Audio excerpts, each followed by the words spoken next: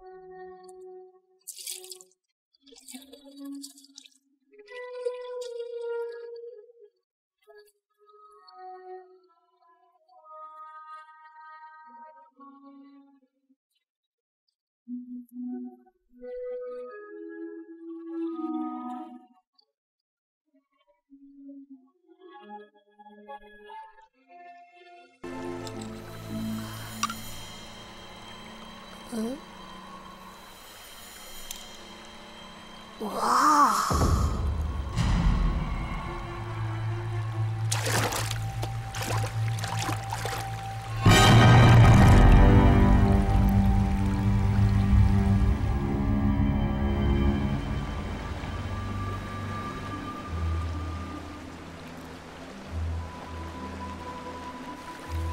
中头，发现尸体的是徐家汇棚户区的一个村民，本来想捞点河虾填饱填饱肚子，结果没想到捞上来一堆死人骨头。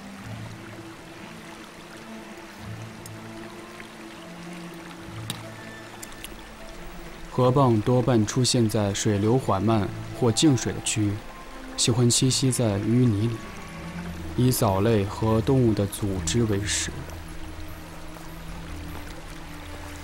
蚌壳里藏着的这枚红宝石戒指，这可值好几十万珍珠的钱。他们要是不报警的话，至少能衣食无忧大半年。这条河是徐家汇有名的臭水沟——普照河的支流。根据我的观察，这里的水质已经受到严重污染，淤泥堆积现象很严重。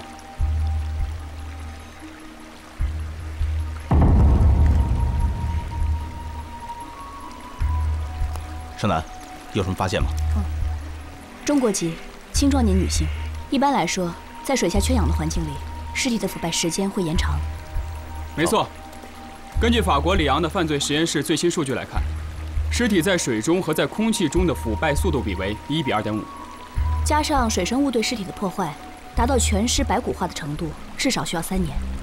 死因呢？还不好下定论。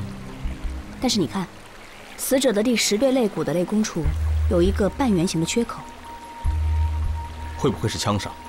死亡时间太长，不能确定。嗯。哎，这里还有骨头没有找到。不是没有找到，而是小指的第二节指骨被截掉了，这是陈伤。从断骨处看，骨架已经愈合了。断指，这是确定死者身份的重要线索。嗯。康华生，有什么需要补充的吗？哦，刚才你们打断了我。其实我想说的是，根据我对这条河的初步勘察，这具尸体不可能在里面泡上了三年之久。为什么？这条河道的泥沙堆积现象严重，河床明显抬高。这是因为普照河的上游，工农局近两年在填修路，堆积的泥沙造成了水流缓慢，无法将泥沙带走。三年下来的话，简单的说，如果是三年前的话，这具尸骨就不可能在这个位置被人捞到。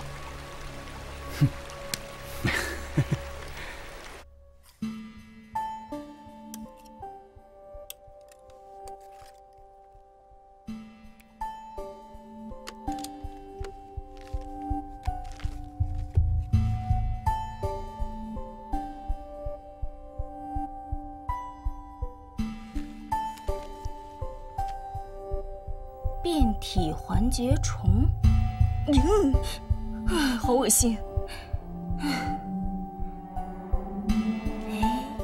哎，让我看看。别闹。哎呀，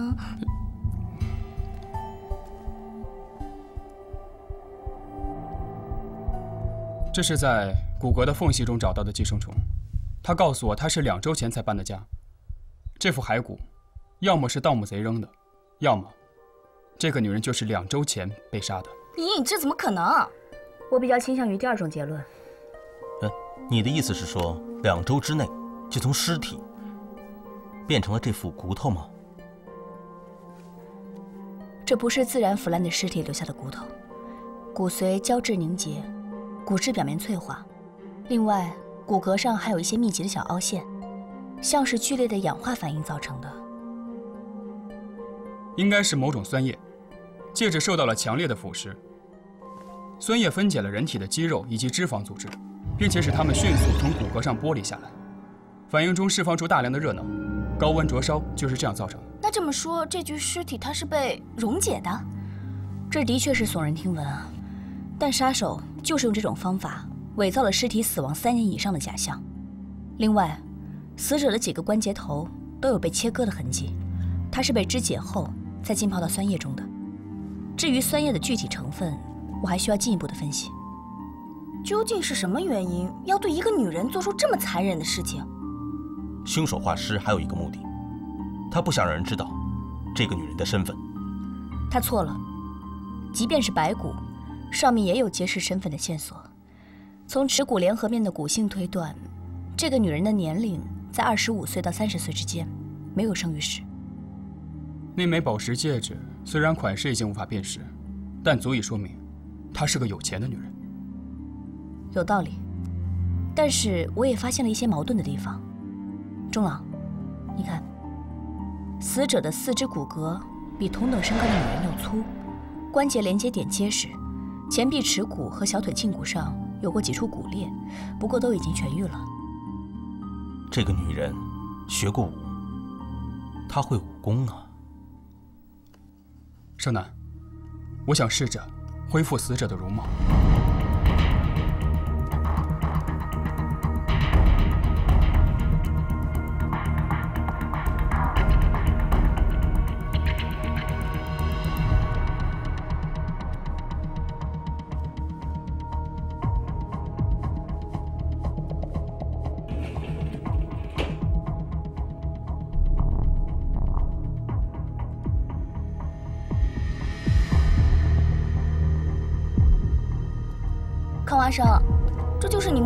上骨的结果，一具尸体，五个模样。那是因为我确实做不到百分之百的精准，因为有些特征是从人的头骨上摸不出来的。这倒是，比如说毛发的浓密度和嘴唇的厚度。所以，我索性把有可能的结果都画出来了。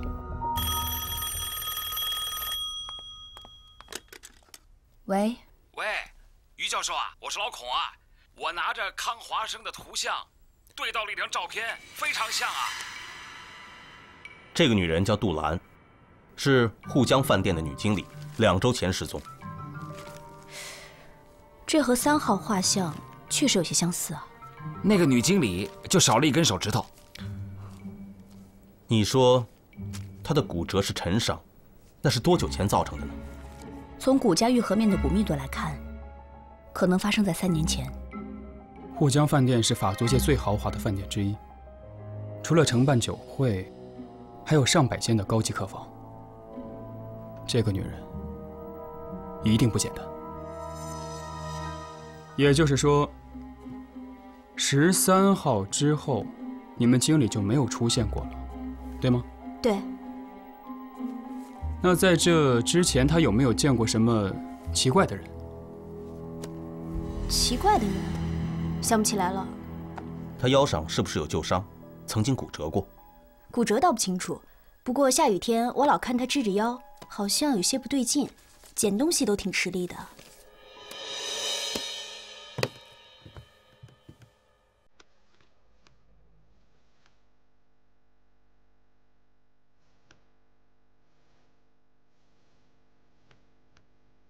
杜兰吸烟吗？没见过。他不在的这段时间，谁来管理饭店？董事会的顺爷来过几次，找不着杜兰，他好像挺着急的样子。还来过一个小开，凶巴巴的，嗓门又大，把我们臭骂一顿就走了。听说是顺爷家的公子。哦，那个杜兰应该还没有结婚吧？有没有什么追求者？他的私事我就更不知道了。三十岁还没有结婚的女人还真是少见呢，对吧，钟朗？其实十三号那天倒是有人来给兰姐送花，谁送的？花店的伙计送来的，什么花？白玫瑰，里面还有一张贺卡，没写落款。报告，探长，杜兰家已经查到了。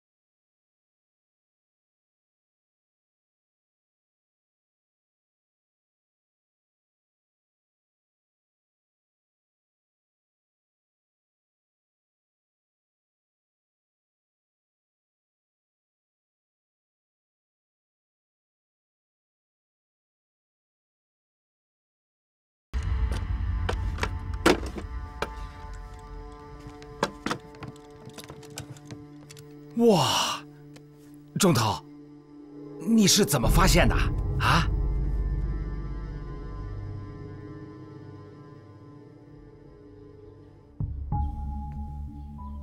这杜兰啊，二八年就跟了我，哼，真是个奇女子啊！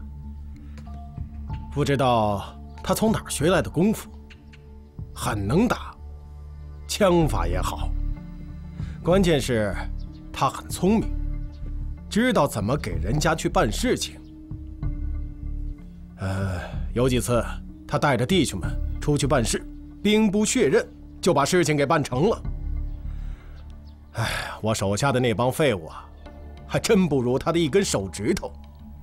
他少了一根手指头，还有过骨折。顺爷，你都知道吧？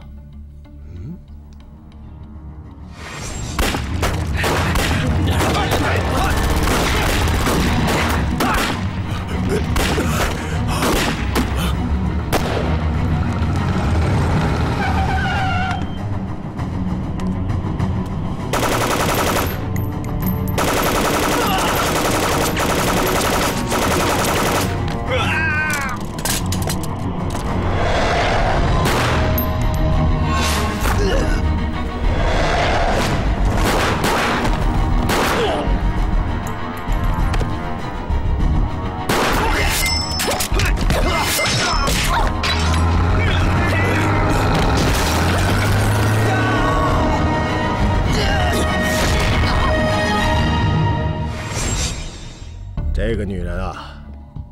欠他一条命。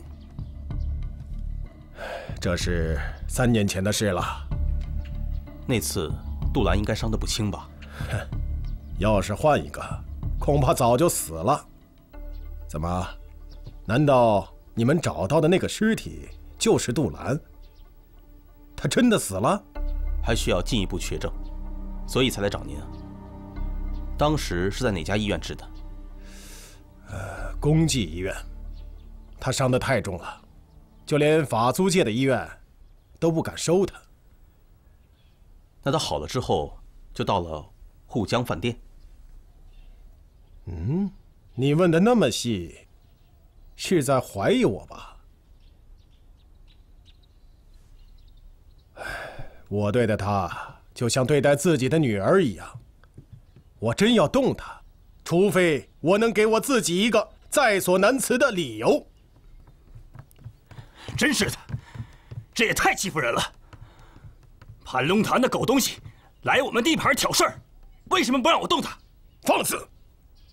啊，钟探长，犬子不懂事，在这胡说八道，还请钟探长海涵呢。哈，你说潘龙潭的人是怎么回事？哎，哈，没什么事儿。只是一些混混来闹事罢了。是这样子，姓庞的死了，他门下的人又把自己归到龙四名下，借着盘龙潭的名号打了我们的人，还抢了我公司的货船。哎呀，这都是些小事，我自己来处理就行了，不敢劳您的大驾。哎，我既然早已两耳不闻江湖事，钟探长，您放心，我保证以和为贵。哎哎，钟探长，我给你说句心里话吧，如果你们真的找到了那个，啊，就是杜兰，我拜托你，帮我把这个事情查个明白，谁干的，为什么？啊，你们有什么要我办的，就尽管说。这是我们巡捕房分内的事，我不是在跟你玩障眼法，要查我。你们尽管查。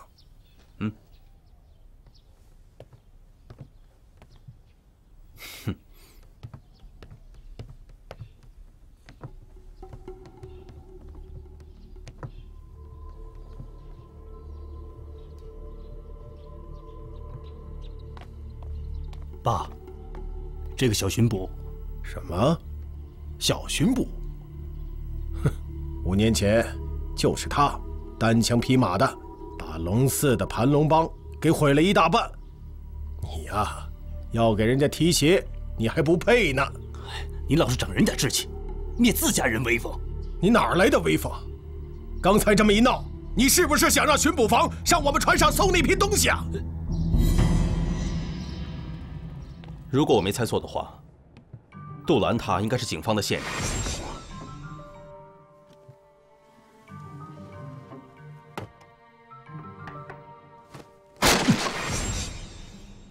杜兰和我一样，当年都是警务部扫黑组派到安青帮的线人。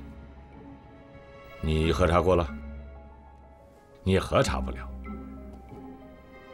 警务部扫黑组那是大方的孩子。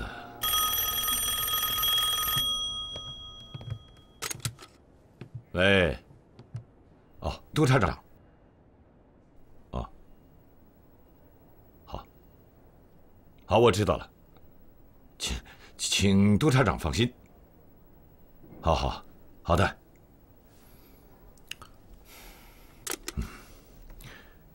工董局警务部打来的电话，杜兰的确是他们的人。你是不是要相信我才是啊？我就是……我还没说完呢。工董局要求我们停止一切调查活动。为什么？为什么？第一，杜兰是失踪了，是不是成了你们找到的那具尸体？这还需要确证，是不是？我可以马上得到结论。啊，即使你确证了，那所有的东西都要交到警务部处理。为什么？一沾黑帮的事，你小子就上进，你脑袋就犯浑。如果说是警务部的线人死了，他肯定涉及到警务部整个的扫黑计划。可是，我知道你也当过线人。如果说杜兰他已经惨遭非命，你要调查凶手，肯定要查黑帮。你已经查过了，顺眼不是？警务部就有反应了，怕你捅了马蜂窝。周朗，哎，周朗，哎，总探长，查到了，死者就是杜兰。不查了，这件事不查了啊！走。怎怎么不查了？中了，我告诉你啊，少给我耍花样！哎呀，是是是是，现在只查第一步嘛。如果不是杜兰是吧？哎，是杜兰。哎，不是杜兰，我还可以继续查下去吗？是杜兰，不是杜兰呀，你就别再说了。肯定是，我都查好了。行，你怎么就不信我呢，钟朗？钟朗，你，哎呀，我敢打赌，那具尸体肯定就是杜兰本人。谁跟你打赌啊？我要确凿的证据。当然确凿了。既然他接受过西医的接骨手术，那么手术前医生一定给他照过 X 射线。什么线？一八九五年，德国的。说结果。就是他能给大活人的骨头拍照留念。我从公共租界的公济医院拿到了杜兰三年前的 X 光片，就是他的骨头照片。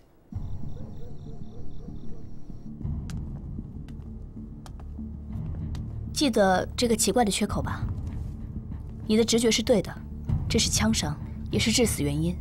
只不过这种子弹的口径比较特殊，只有五毫米左右，而且很奇怪。弹头的残留物里，我只发现了铅，并没有铜合金。不会被腐蚀了吧？是在骨头里发现的，还没有到被腐蚀的程度。这么说，可能是躲铅弹头，可那是种很老式的子弹了。我记得零六年之后生产的都是镍铜合金披甲弹头啊。所以要找出杜兰死亡的真正原因。这一枪，可能是一个关键线索。这个只能靠你了。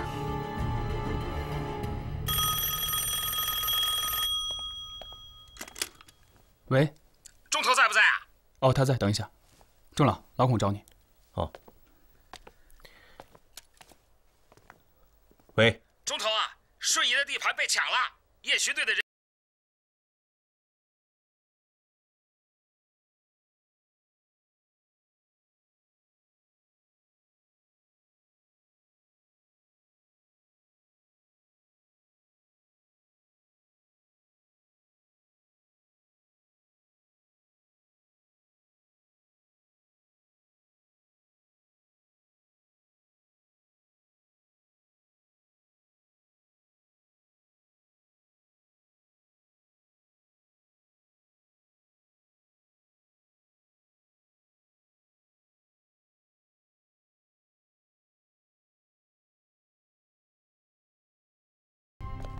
都曾经是盘龙潭的成员。打断腿的那个他已经招了。他说啊，就在两天前，盘龙潭和顺爷的人还发生过械斗。哎，这件事怪了啊！不是说这两大帮会都已经塔台了吗？怎么又闹上了？那些赃物都清点过了吗？嗨，还能有什么呀？直接冲着金库去的，都是老江湖了，不怕多坐几年的牢。我说过，你们没有权利抓我。明天巡捕房就会收到法院的传票。你看，中头，那个假洋鬼子的律师来了。总探长讲了，让咱们放人。嘿，嘿。等等，干什么？我是受害者，我的赌场有公董局批的执照。为什么潘龙潭的人老是盯着你呢？这个问题，我用不着告诉你。不过，我认识你，你还在查那个杜兰？嗯。杜兰的事儿，我帮不了你。不过，盘龙潭和我们之间有过节，你可得管管。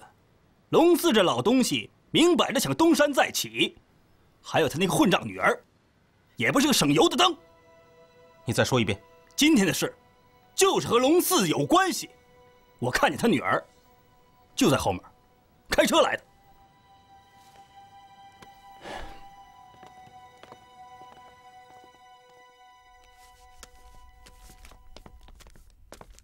哎，钟老，这是我找到的所有和杜兰有关的资料。现在把它们按时间跨度分类。哎，可是奇怪了，我怎么都找不到杜兰在进黑帮之前的资料，户籍登记录里也没有这个人。我想杜兰并不是他的本名。作为线人，一般进入黑帮前的资料都会被抹掉的。哎，三零年间啊，这个杜兰就得到了顺爷的信任，成为安青社的骨干了。他在人前能言善道，所以顺爷才把沪江饭店交给他打理。哎，你看，两年前沪江饭店开业剪彩酒会的照片，上面有顺爷，还有那个死去的黑帮头子庞青竹。哎，这个女人啊，来头也不小，她是盘龙潭龙寺的千金，龙黛玲。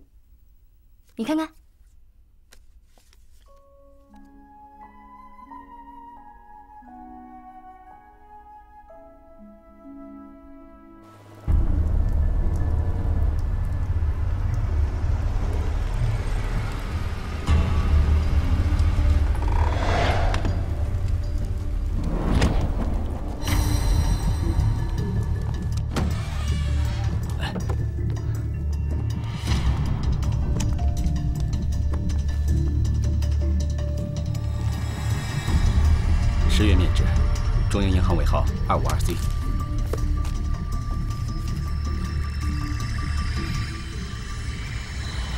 尽快送到鉴定科进一步鉴定。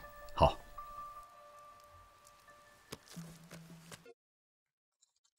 五年前安青社被打垮的报道，这算是当时最轰动的一则新闻。这个人啊叫石冲，是安青社的二当家。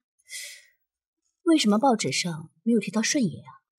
听说当年石冲担下所有的罪名。这是黑帮惯用的招数，丢卒保帅。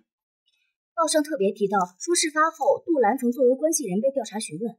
那么记者之所以特别提到他，是因为他当年跟石冲的关系是……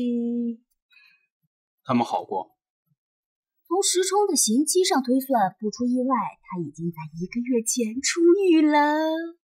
哦，对了，关于那束玫瑰花的事儿，我找遍了上海的花店，可惜并没有送花人的线索。杜兰的女助理看杜兰对那束花似乎并不在意，所以他随手就当垃圾给处理了。但贺卡并没有扔。遗憾的是，我和钟朗翻遍了办公室，也没有找到那张贺卡。石冲跟杜兰的死会不会有什么关系啊？或者他就是凶手？现在下这个结论还为时过早。不过，石冲出狱之后，很有可能见过杜兰。这是我们上次没有了解到的。华生，这次去沪江饭店可不能大摇大摆的，要借用你的专长。我的专长？什么意思啊？哦，我知道了，去泡妞啊。少来啊你们。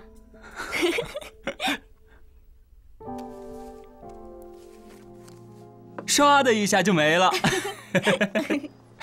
总之啊，在我做实验的时候，有很多这种奇怪的现象，特别好玩。是吗？有机会去看一下。嗯，好。上班时间，我本来不应该来这里喝咖啡的。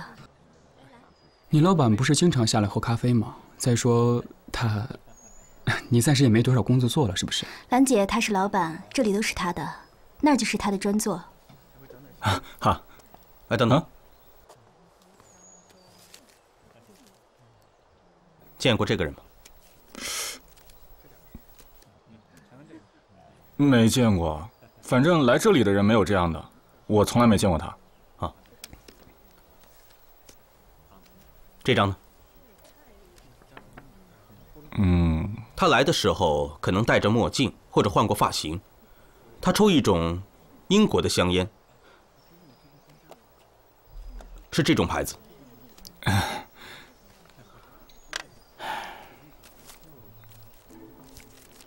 嗯，嗯，哦，来过，我想起来了，真的，来过还不止一次呢，和兰姐还挺熟，有时候喝完咖啡之后，兰姐还邀她上楼呢。嗯，哎哎哎，我想想啊，十三号，对，兰姐失踪前一天。她还来这里喝过咖啡。哎，谢谢先生啊，谢谢先生。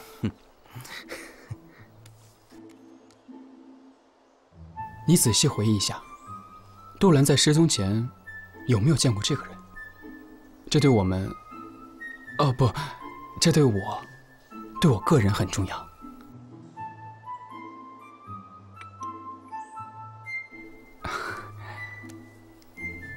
放松，别紧张。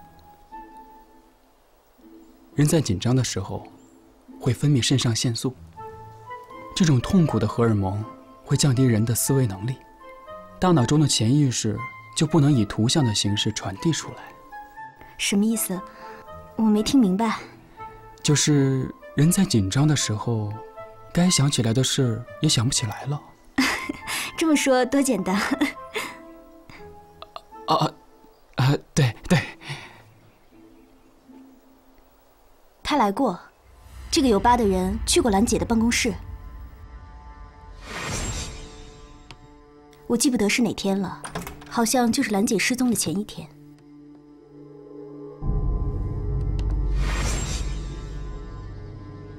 他们在吵架？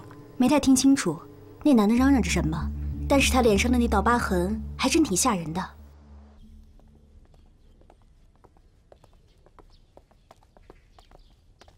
老爷，钟探长来了，沏壶好茶来。是。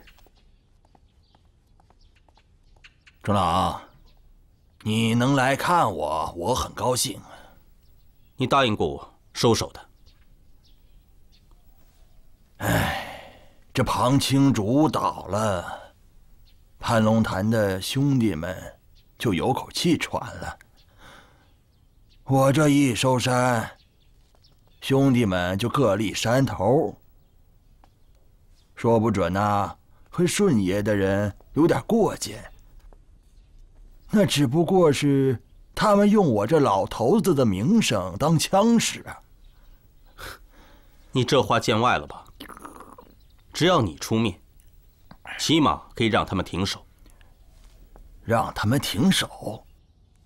我已经算对不住他们了，甩手掌柜一个，就带了几个贴身的就走了。剩下的人也得讨口饭吃，是不是啊？不过你放心，不出几个月，顺爷就能把他们收拾得干干净净。顺爷一样，也是被漂白的黑帮，对不对？如今世道变了，以前我们枕着两把菜刀就能睡得很香，现在可不一样，黑帮。从烟赌娼转到了地产投资、跑马这些行业，经济领域，经济我老头子也不懂啊。不过我听说顺爷前一阵子花重金购买了不少的紧俏物资，我估摸着怕是又要打仗了吧。顺爷的事儿，我知道一些。你说的那个杜兰，是一个特别的女人。我记得她跟石冲应该是顺爷左膀右臂吧？只不过他那个倒霉儿子不争气。你是说安德鲁？对，就是他，改了个不忠不息的名字。就是那个顺爷最宠爱的四姨太所生的。这个小子，只会到处惹是生非，简直就是个疯子。安庆社要是坏事，坏就一定坏在这小子手里。那你呢？谁来接你的手啊？哼，我老了，早就应该退了。这不已经退到山上来了吗？嗯。你看，船票我都给你准备好了，下个月就走了，准备到香港安享晚年去。这不，还有一张是为你。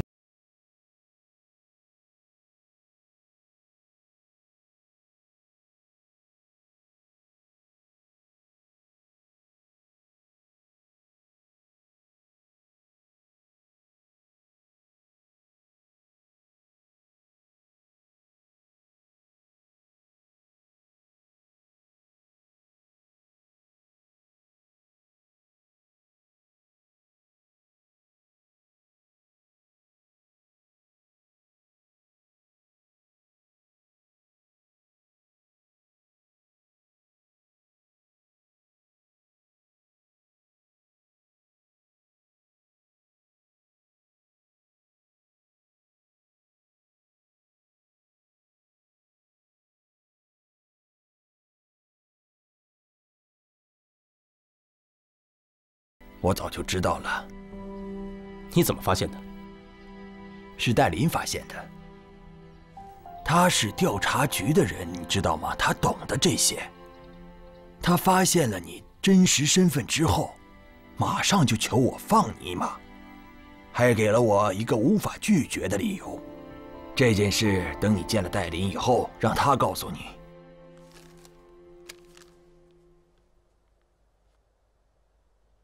这是工董局最高层下的命令。你知道违反工董局条例的后果吗？总探长，这事有些蹊跷啊。工董局的条条框框不是一天两天了，这次有些特别，来得又快又狠。那是警务部的扫黑计划到了节骨眼上，人怕你这老鼠屎坏了一锅汤，警务部当然急眼了。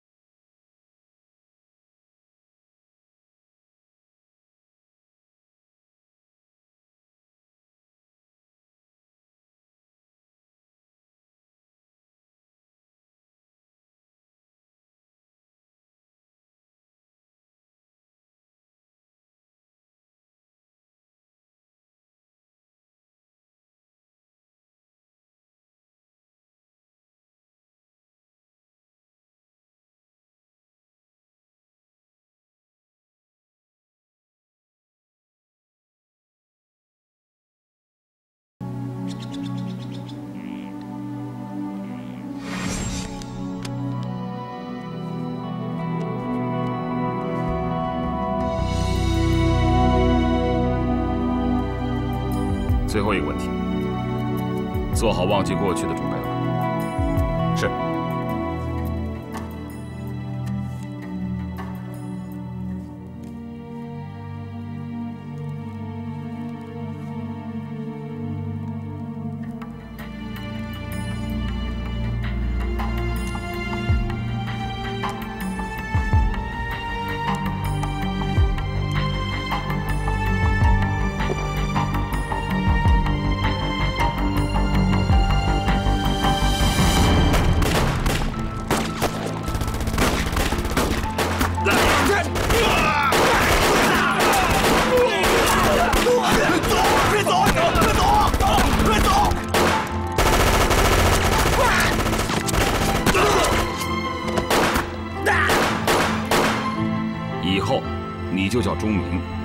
在十六铺跑过码头，罢工潮之后孤身闯荡江湖，你的能力被龙四看中，这一年开香堂正式收你入门，你的任务就是收集龙四亲手操办上海滩烟赌娼生意的切实证据，协助警务部地除黑帮毒瘤。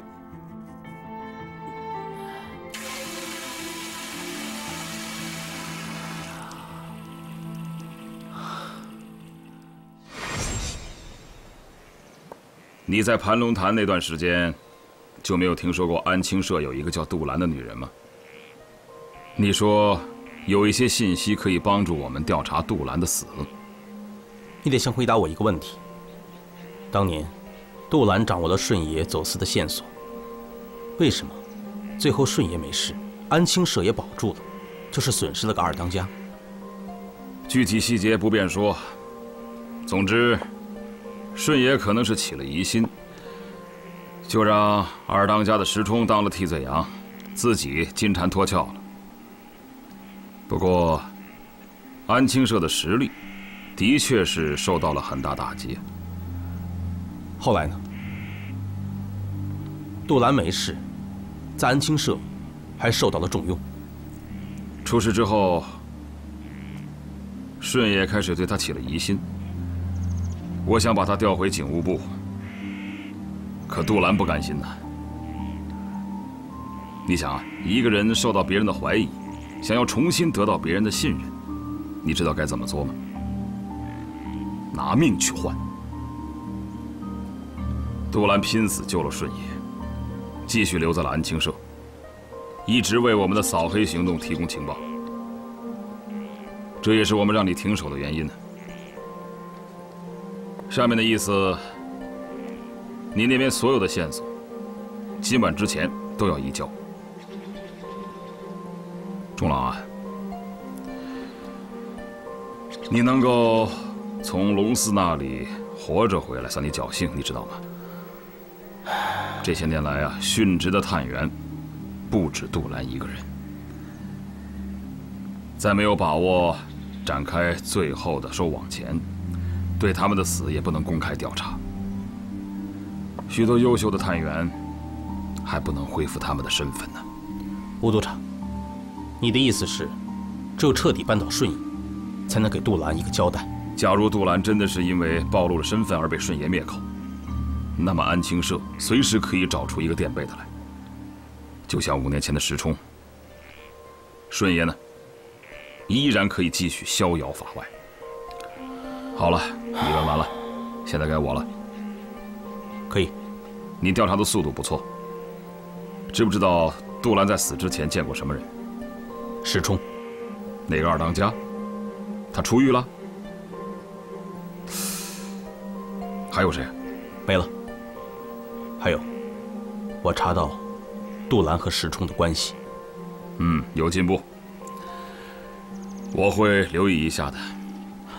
这个，哎，我已经够有耐心了，是不是？那么别的事情就交给警务部来办吧。可是，哎，记得你进黑帮之前，我曾经跟你说过，我的这条腿就是在十几年前抓黑帮被他们打断的。黑帮不除尽，我的这条废腿就永远做痛。我现在要做的，就是要铲除这些毒瘤，还法租界一个清净，让它成为一个朗朗乾坤的国中国。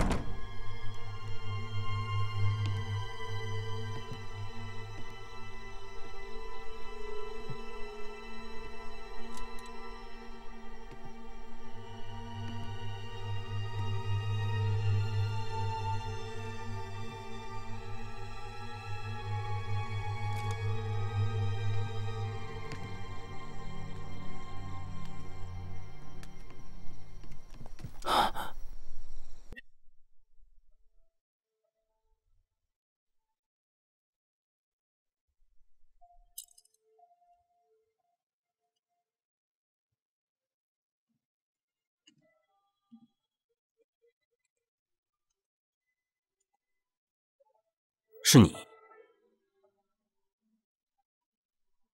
等的无聊，我开了你一瓶酒，你不会介意吧？你找我。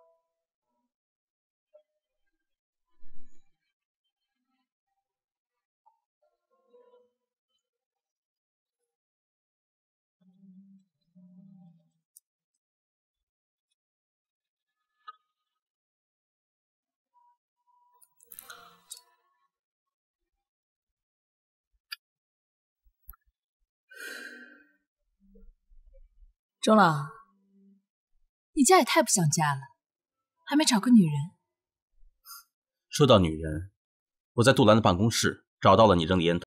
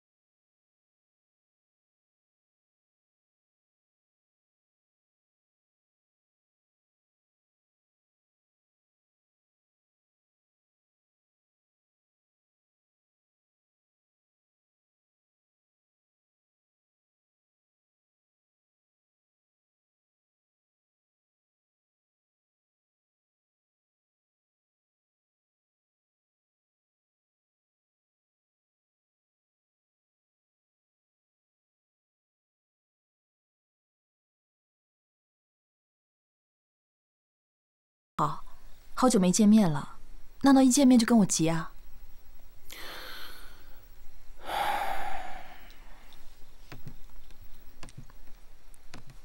杜兰的死跟我没有关系，我也不知道是谁杀了他，我也想知道。如果你查出来，一定要告诉我。至于为什么，我以后会告诉你。还有，抢赌场那天我是去了。不过不是为了我爹，也不是为了抢几个小钱。你只是用你爹的几个手下，不想让顺义的人知道，那是调查局在插手。你怎么知道？我逗你的。你是谁啊？你是钟朗，这点事查不出来，怎么做大侦探？少来这套，那是五年前的花样了。哎，你怎么这么没良心啊？五年前不是我帮你抓的庞青竹吗？还有给你好多名单呢。调查局还有什么神通啊？你消失了这么久，又冒出来了，就是为了抢顺爷的赌场？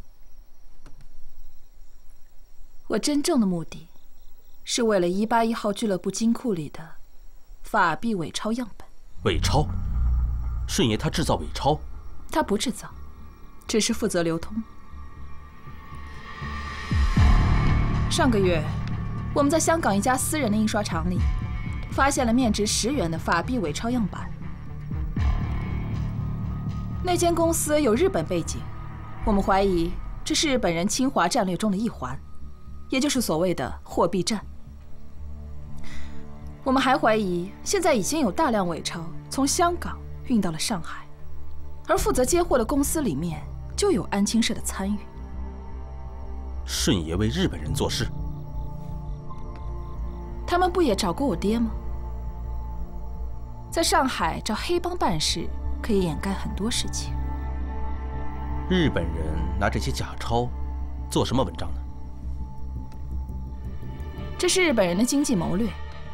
你想，他们用假币购买物资，战争是需要花钱的。可他们不花一分钱就能搞到大量的战略物资，同时破坏政府新推行的货币制度，而且破坏了金融市场。我还听说他们称这次行动为“木马计划”。算了，我不说了，说多你也不懂。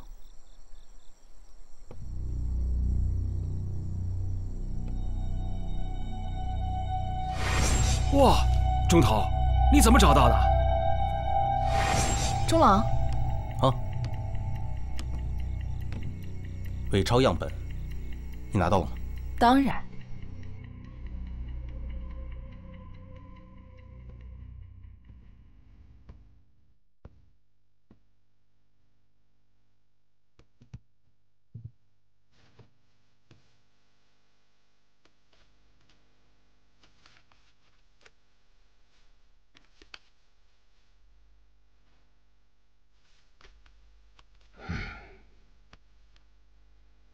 哼！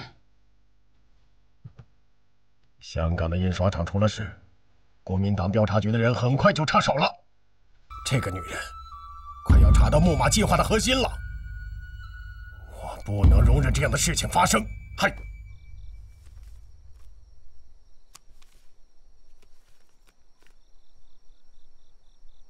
我现在问你一件事情，你想好了再回答我。说，魏超的事情，杜兰知不知情？钟朗，事情根本不是你想象的那样，这事情有点复杂，有些事要等我们全面行动之后才能告诉你。这话我不想听。你一直都不相信我。你爹说，当年你知道我是警务部的线人，你给了他一个不杀我的理由。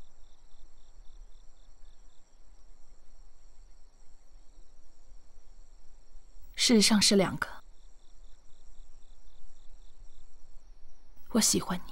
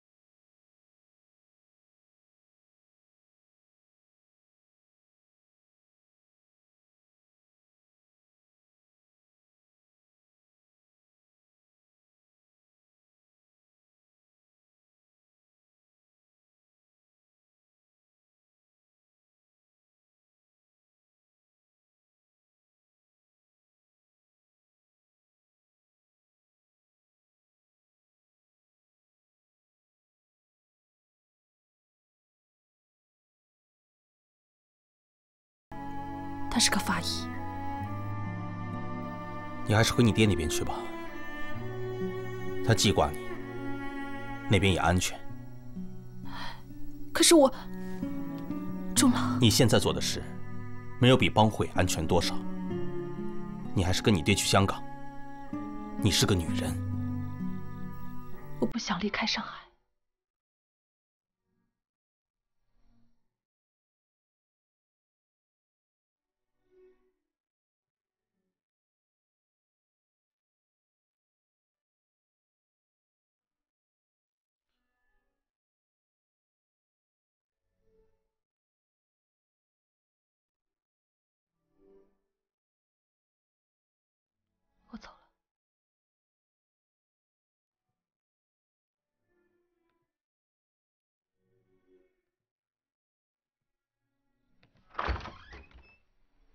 等等，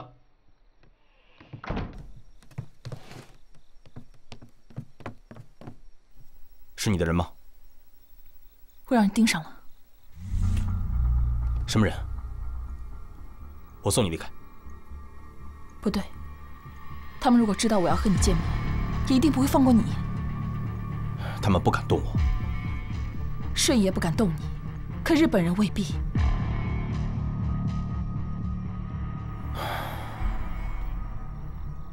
让他们盯着，等天亮人多了，我自然可以混出去。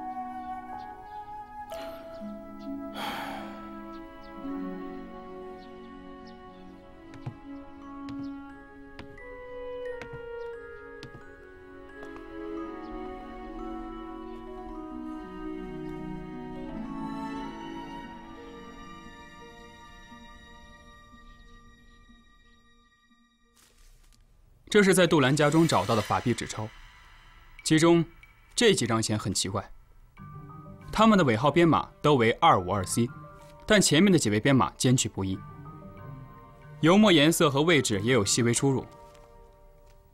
这应该不是机器统一印刷的效果，倒更像是手工修改而成。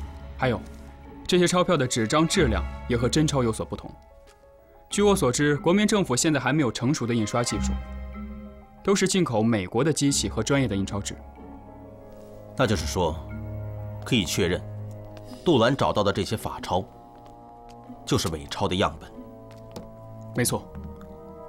暗格是线人拿来储存重要情报的地方。所以说，这些钱不是杜兰拿来急用的，而是他找到的证据。杜兰发现了假钞的事情，被灭了口。什么？假钞？你从哪来的消息？这不重要，我想请你批搜查令，查顺爷的码头仓库。中郎，你死了这份心吧。警务部的命令，你又不是不知道，啊。再说了，在法国人的租界里，他们印的。是国民政府的假钞，又牵扯到日本人，这案子就是有，也不是咱们巡捕房能管的。哎呀，我说钟郎，是不是杜兰的案子停了？你闲着没事啊？我告诉你，今天早上在西郊刚刚发现了两具无名男尸，也不知道是什么血海深仇，凶手把尸体是大卸八块。哎呀，真是丧心病狂啊！你抓紧把这个案子给查清楚，尸体我已经派人给你送过去了，啊，抓紧办。死亡时间在昨晚十点左右，两具尸体上有多处皮外伤和电击留下的灼伤，很有可能死者在生前遭受过严刑拷问。我发现这两具尸体。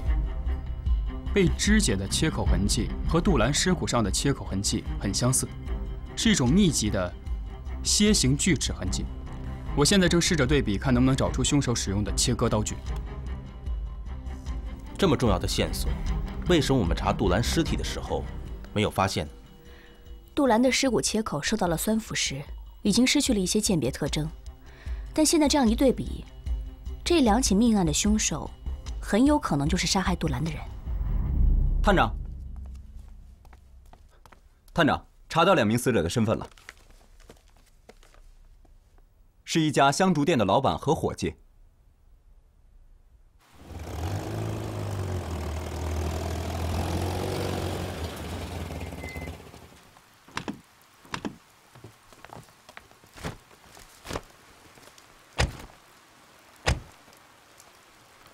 这就是那家香烛店。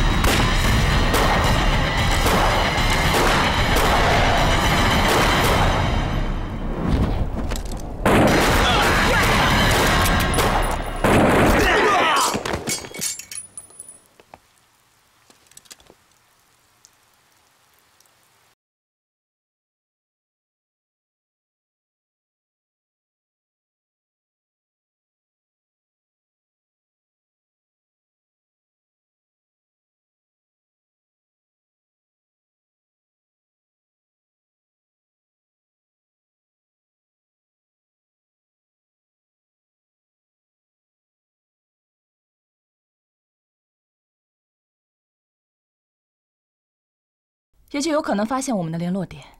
他们是，是我的人。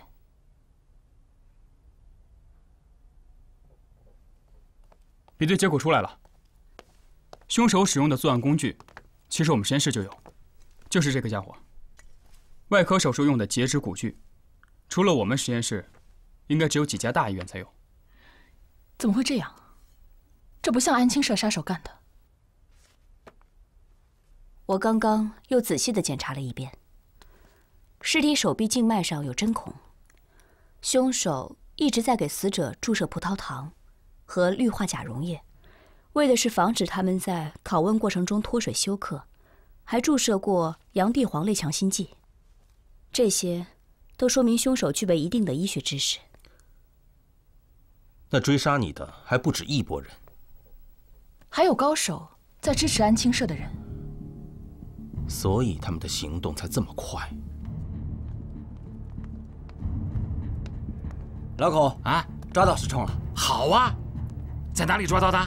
他和蹲过班房的一个老友，躲在佘山脚下的一个破屋里。哦，昨天晚上他们还和一伙小偷干了一仗。嗯，做伪钞除了印刷设备，最难的就是纸张。他们用的这种纸，我查过了，是日本金港堂公司出品的。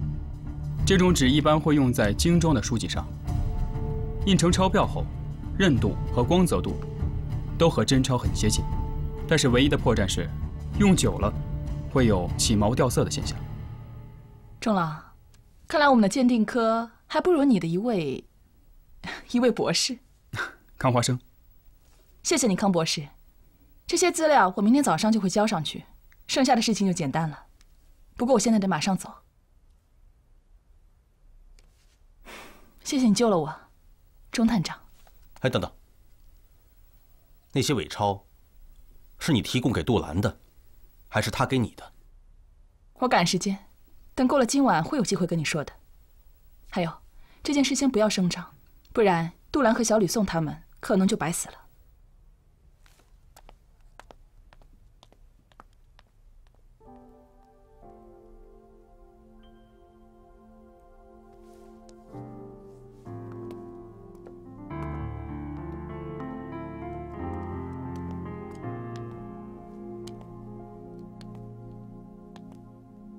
钟朗，这个女人是杜兰照片上的那个人。是。你们盛楠，等这阵子过了，我会把以前的一些事情告诉你。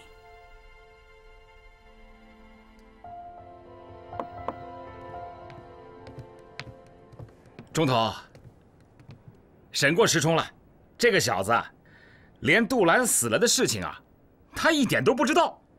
给他看了尸体照片啊，他才相信。你说啊，一个大男人还居然流下了眼泪，哎，没想到啊，还真是个情种啊！也许他真的和杜兰的死没关系。他出狱之后呢，找过顺爷一次，讨了点酒肉钱。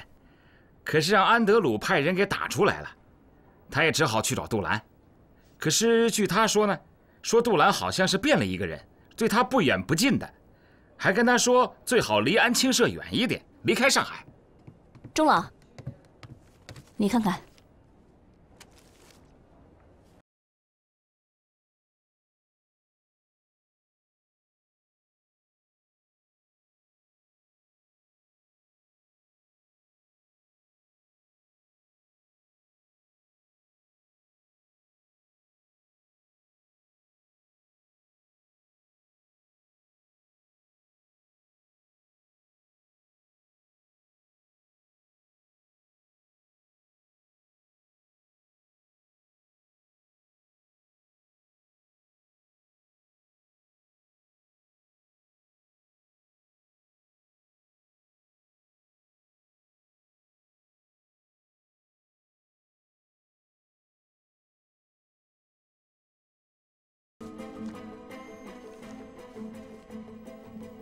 没值班的有小杨大夫、刘大夫和宋大夫。哎，宋大夫，有人找你。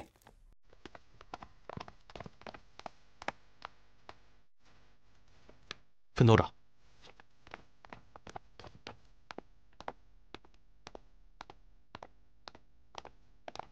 啊，哎呀，不好意思啊，小姐，这是医院。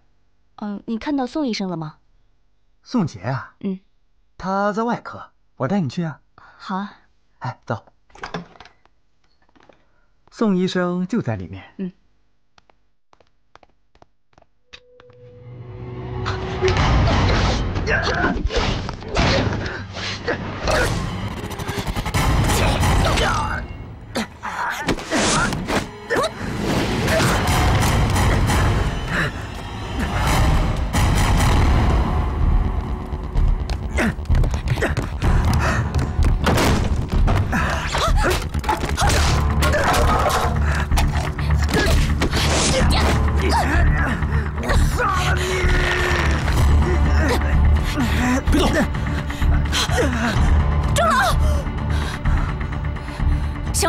是你杀的，要不然你们怎么会找到我呢？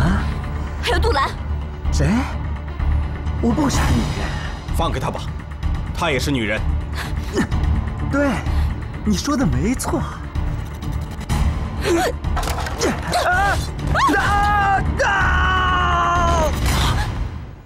没事吧？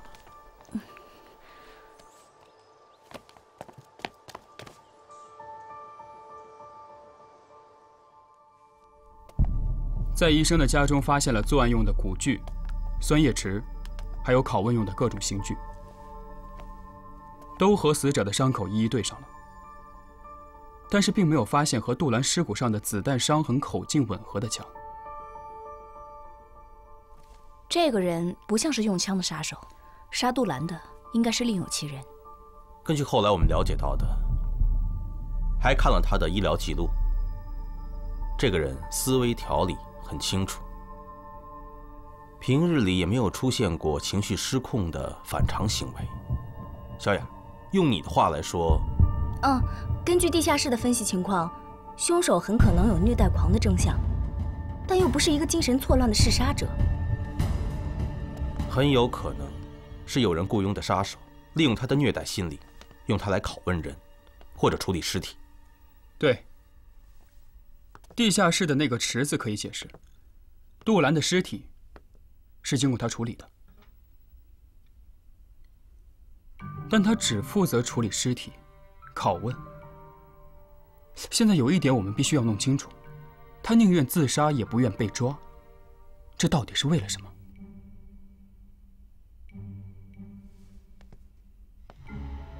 拷问香烛店的伙计，就是为了找出龙代林的下落，然后把知道假钞案的调查员和巡捕一一灭口。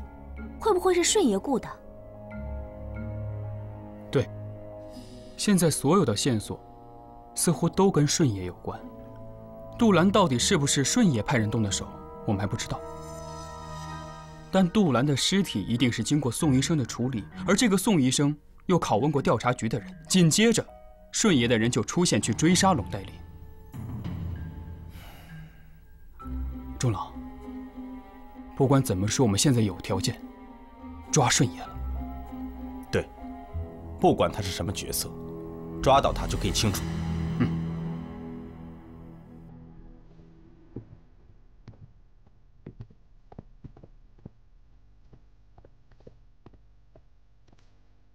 木马计划泄露了，几条运输线都遭到了破坏。南京方面已经决定派人调查，这次的问题全出在安庆社的环节上。那就按规矩去办。好，哎呀，啊，舒服，啊，舒服啊！哎呀，秋月啊，今天你这手劲儿可特别的大啊，有劲儿。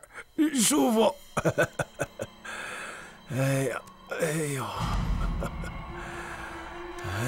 哎呦，你是几？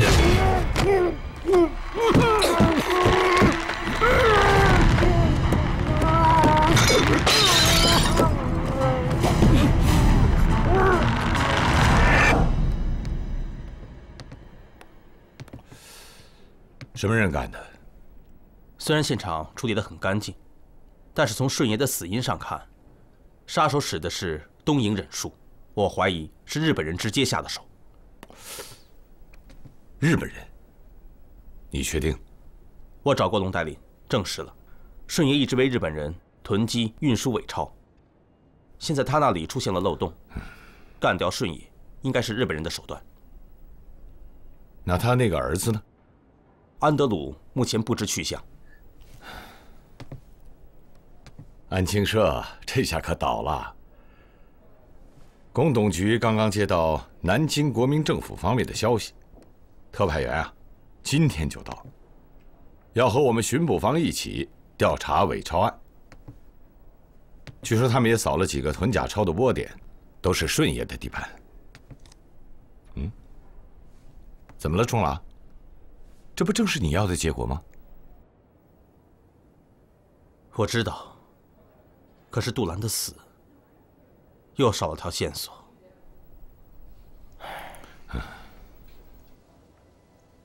钟朗，我和我爹现在就要启程去香港了。什么？不是一个月后吗？怎么这么着急啊？我爹不能再留在上海了。我是因为调查局的安排，临时得到的命令。韦昌案的事了结了，我还欠你一个情，那就是杜兰的死。还有，我也想再见你一面。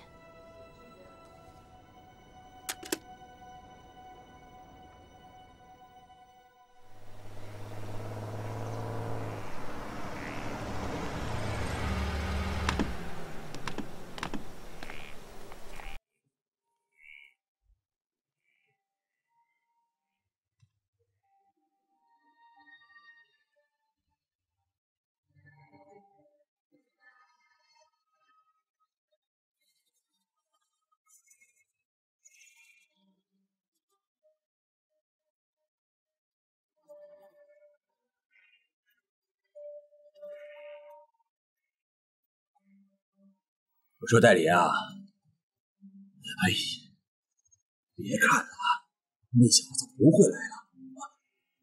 走走走。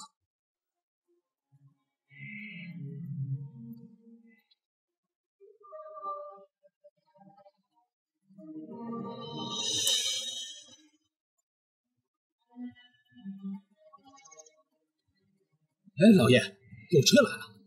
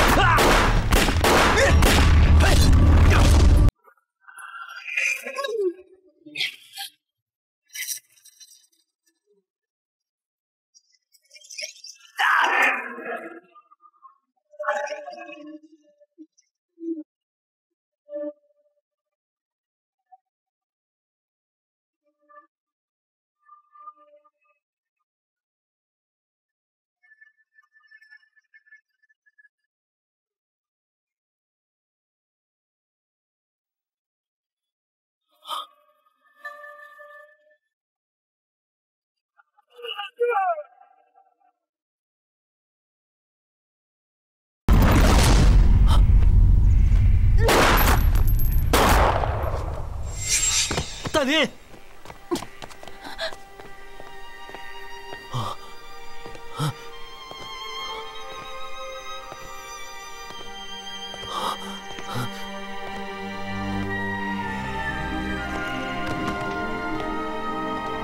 大林大林大林大林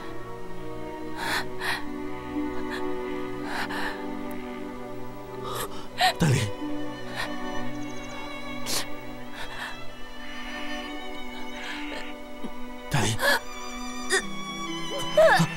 别说话，我送你去医院。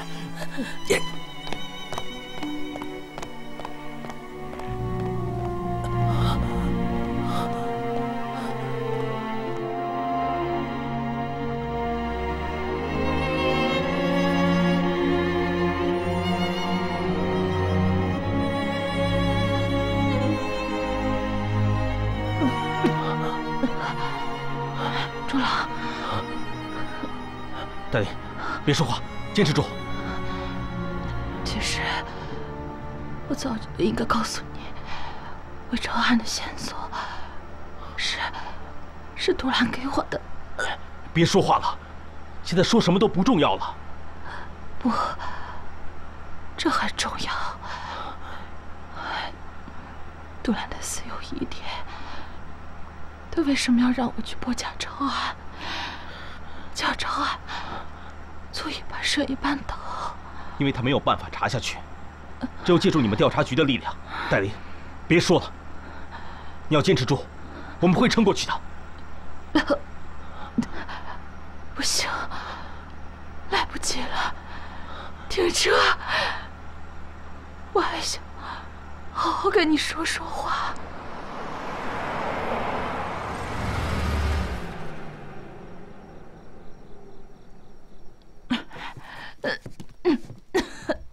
大林，大林，大林，大林，大林，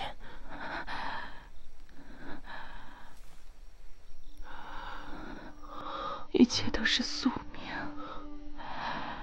生在帮会，死也在帮会。钟老，你还记得我们第一次见面的时候吗？在那个舞会上，我第一眼看见你，我就对自己说：只要他请我跳舞，我就陪他一直跳，跳完最后一支曲子。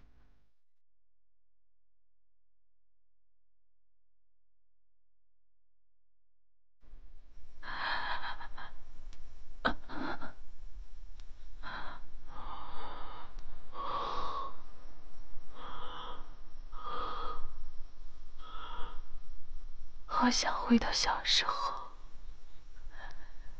那时候我爹常说：“你是龙四的女儿，你想得到什么，就一定会得到。”可是，我最想得到的，终究没得到。周郎。我骗过你，伤害过你很多次，说爱你这件事，到死也没有骗过你。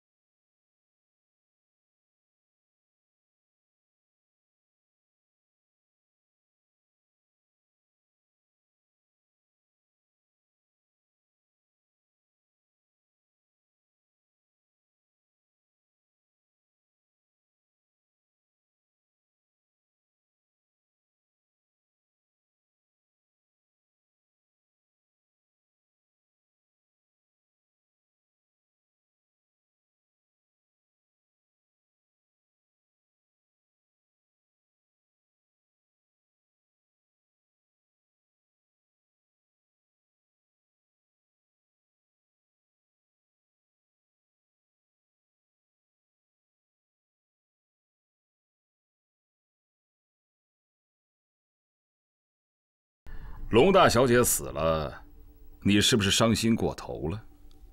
杜兰的秘书说，十三号那天收到过一束白玫瑰，还有一封没有署名的贺卡。其实那不是贺卡，那是一张黑桃杰克的牌。从那时候开始，我就怀疑你了。杜兰死的前一天，他见过石冲、龙黛林。最后，他还见过一个人，那就是你，吴督察。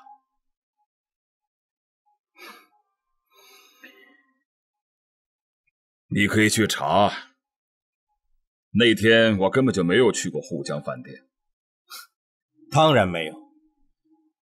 知道为什么我把和你见面的地点挑在江边吗？因为那里是你和线人秘密见面的地方。我想，杜兰就是在那里被你杀害的。哼，又是你想？你还想什么了？其实，杜兰早就发现了顺野为日本人流通伪钞的事情，他向你汇报，却迟迟不见警务部有所行动。作为线人，他只能单独和你联系。他并不知道警务部内部出了什么问题。伪钞案是一桩大案，又是逮捕顺爷最好的契机。杜兰他绝对不会放过你，也没有理由不采取行动，所以你只能用各种理由堵住他的嘴，然后暗中销毁他提供的证据。杜兰不笨，他开始对你产生了怀疑。事情明明就已经查得很清楚了。为什么你就是不？现在时机不成熟，你要听我的，不许轻举妄动。你回来，站住！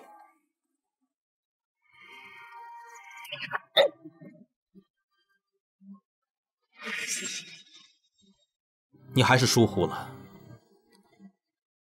杜兰是一个受过训练的出色探员，他知道在生命的最后一刻。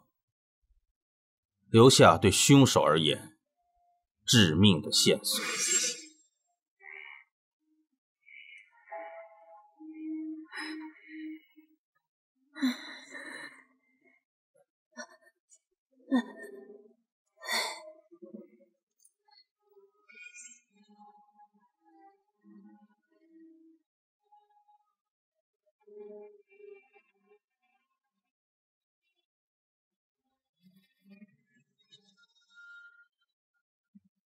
如果没有猜到那里是案发的第一现场，那么永远不会有人发现那个不起眼的标志。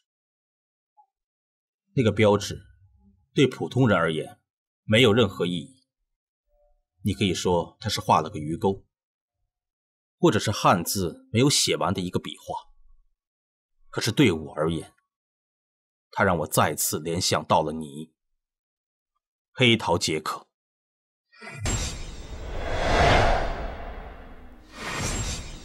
你让宋医生处理杜兰的尸体，以为可以做的天衣无缝。但是杜兰临死之前的话，却让你一直不安。他已经做了最后的准备，他暗示你，他已经把伪钞案的线索给了一个他觉得信任的人，但是你却用线人的借口。拦住杜兰的案子，就是为了查出那个人到底是谁。你查案的速度不错。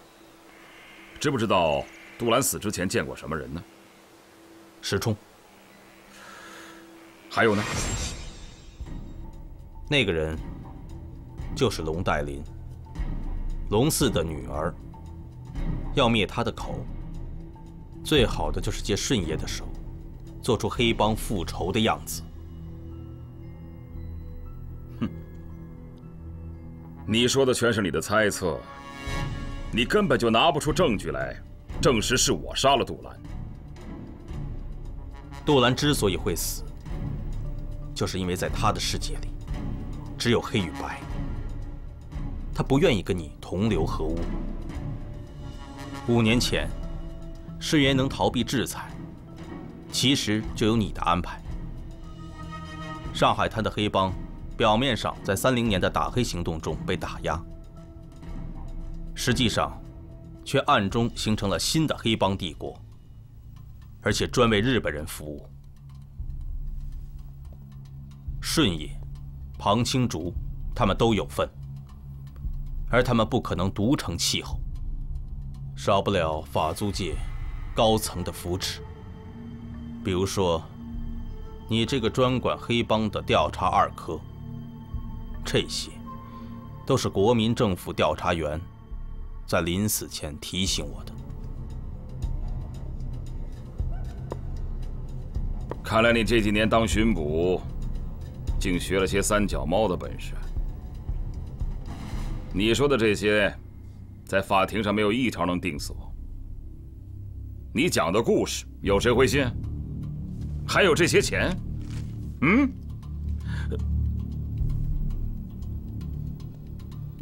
这两个人，一个是警务局最忠诚的线人，另外一个是我的朋友。今天晚上，有人要为他们的死付出代价。别忘了，这些诈供的本事，都是我教你们的。在没有证据、没有证人的情况之下，如何让嫌疑人自己招供出来？哼哼，只是我不会上当。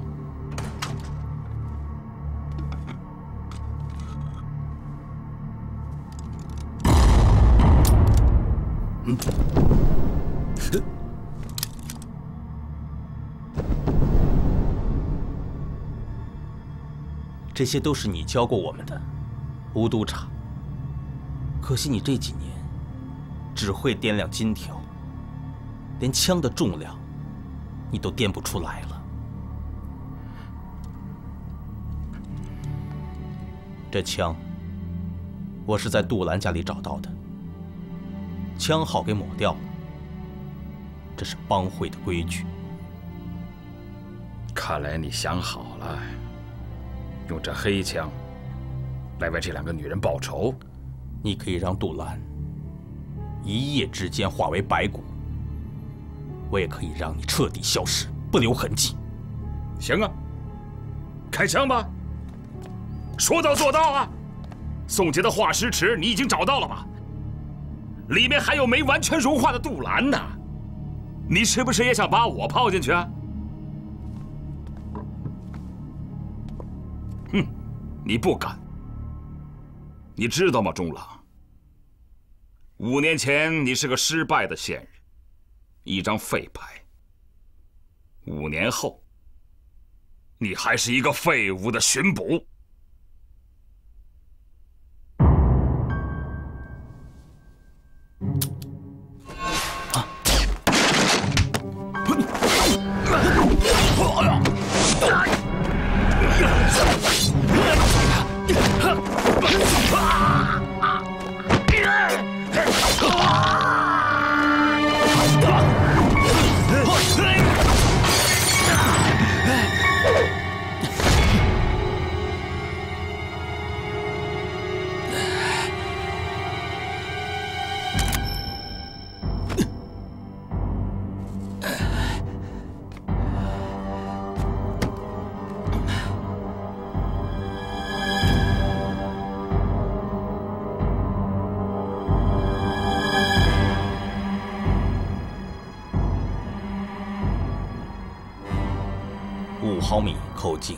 落铅弹头。我说呢，怎么到处找不到凶器？哼，现在我有证据了。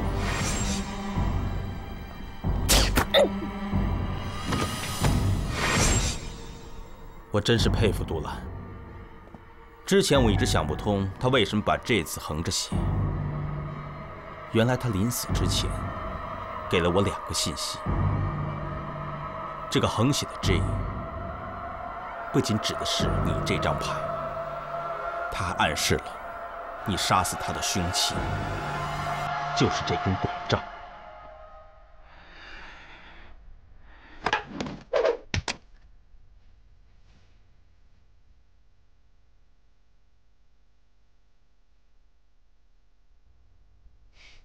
谁给你的？原来金蛇会是你的后台。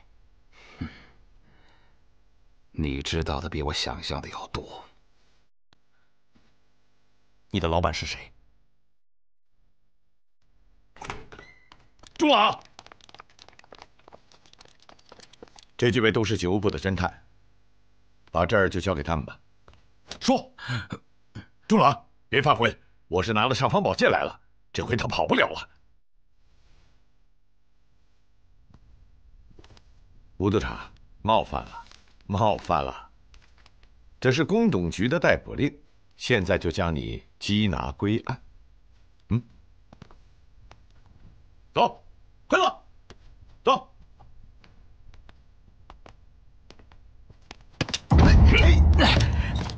他们知道，别开枪。